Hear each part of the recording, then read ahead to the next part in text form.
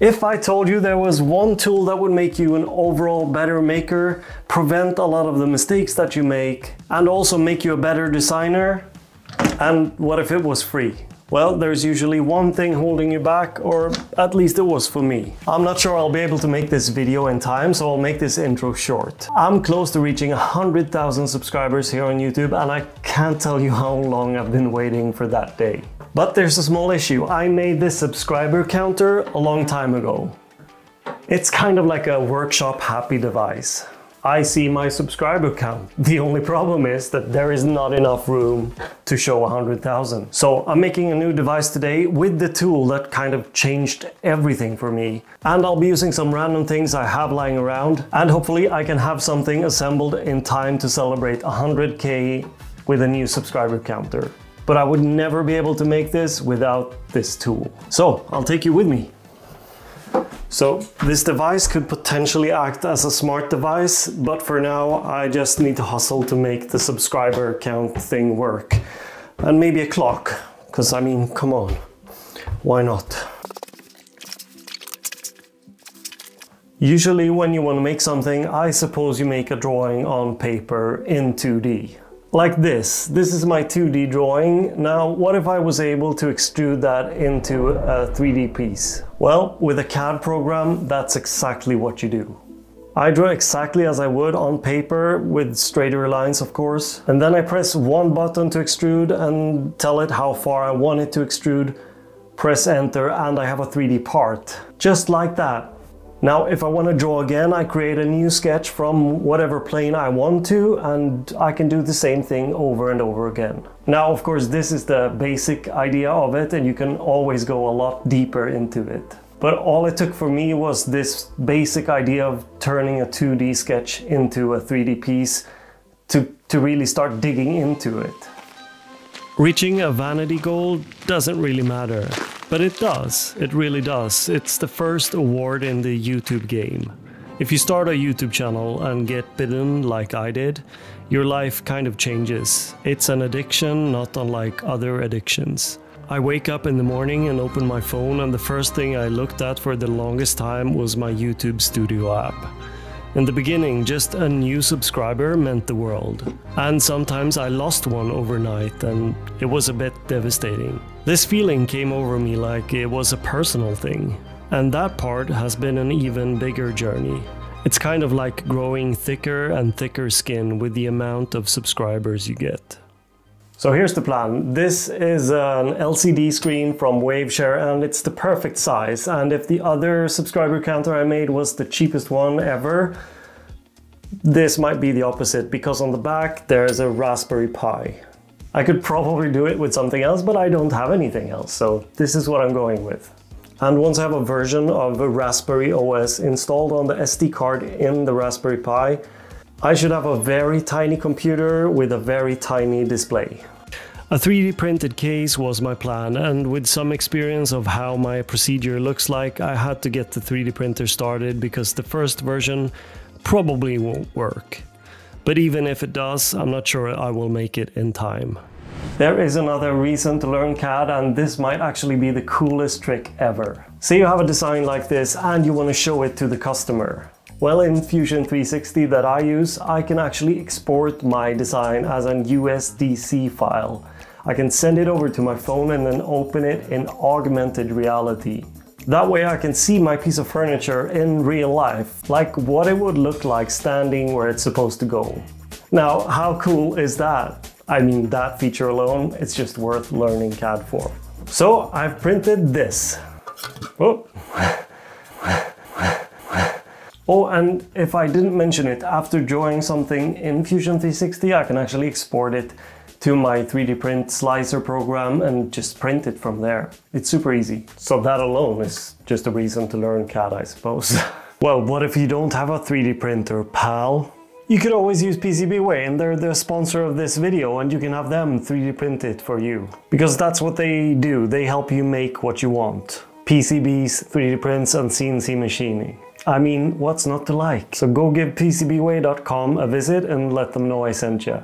And if you use the link in the description, you get $5 off your first order. Now it looks good, but I want to make some tweaks to it.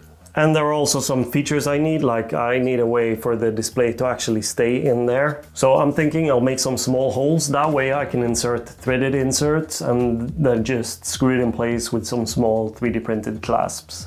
I also need a back panel to cover it up and I'll do the same thing there with some threaded inserts. A logo at the bottom and I also want to tweak the feet a bit to make them look a bit nicer. And then print again.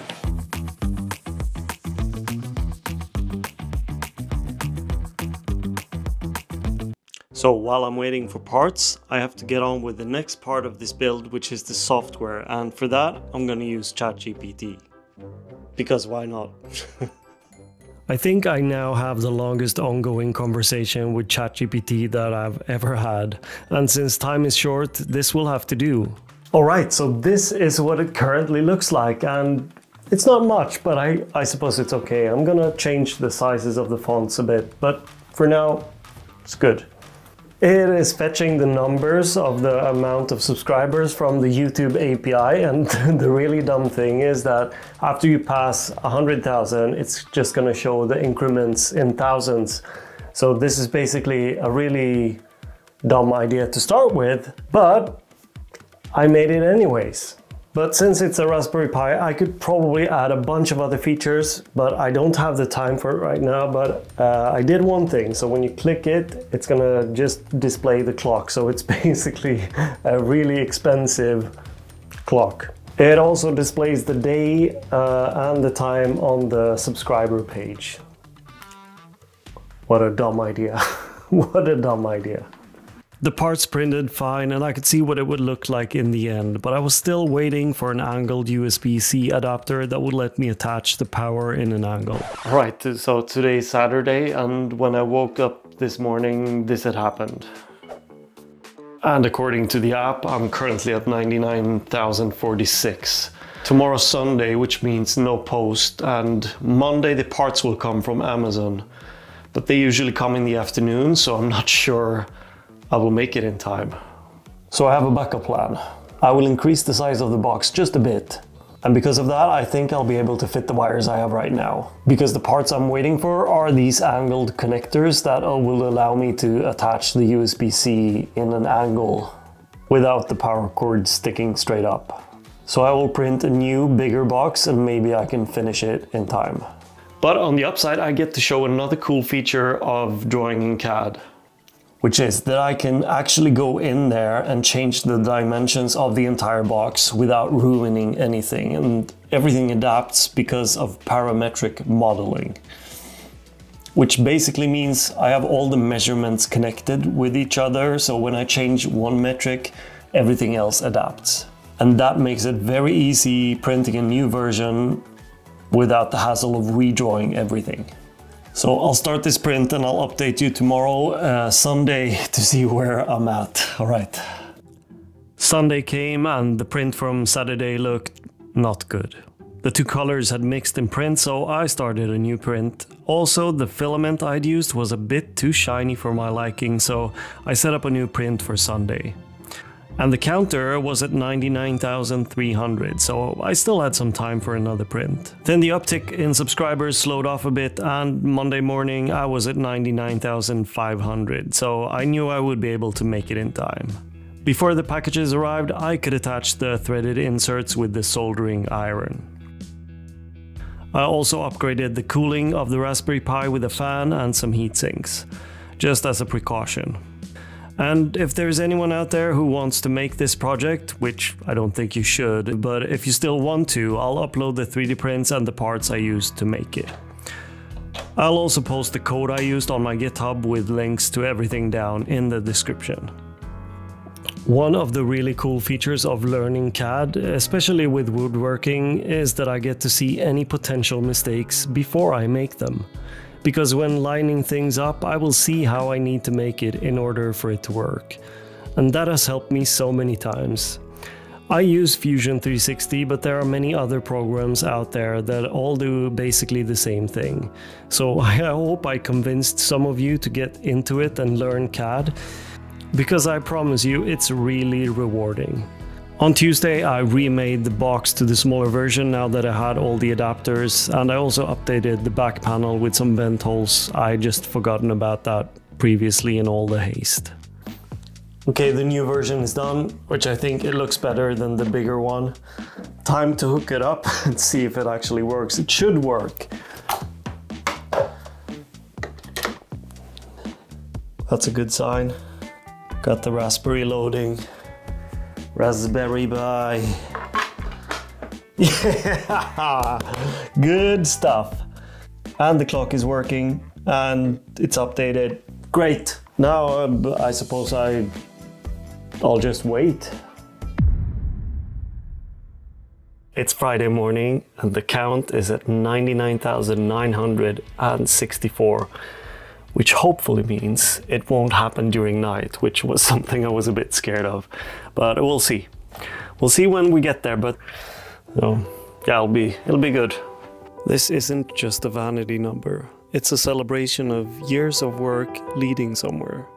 I think everyone should have some kind of acknowledgement counter. We all deserve it. You and everyone else watching made it possible, and I guess that leaves me one thing to say. Thank you.